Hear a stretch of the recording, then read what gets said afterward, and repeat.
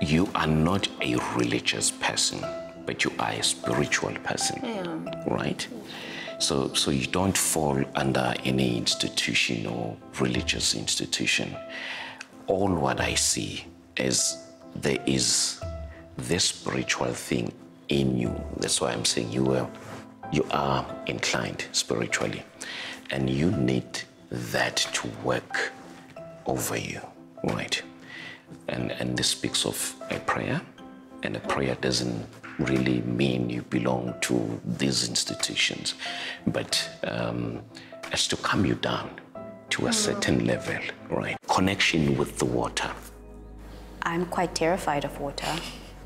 I've not been in the, in the sea Yeah. because why would you want to be in the body of water that has no wall or Yeah. bottom? I have a very strong connection to water.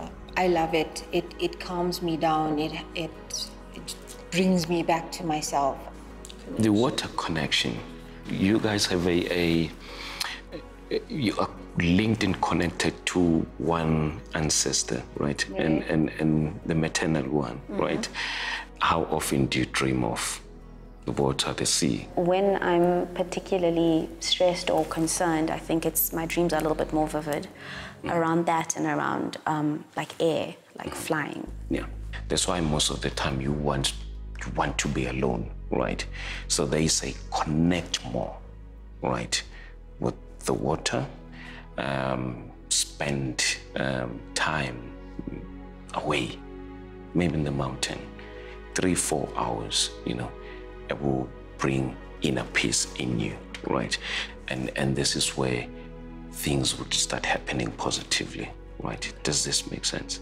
Yes, it does make sense. right lokhu ngokwami ngikuthola kuyizo impawu engeke ngithole uma lo enomoya there's that thing of you that we say you are spiritual inclined and and then through water this would um, obviously put you into a different realm um, spiritual realm and what's going to happen Okay. most definitely the third eye, which is the spiritual eye in you, is just going to open up more, and and this would help you to connect directly, right?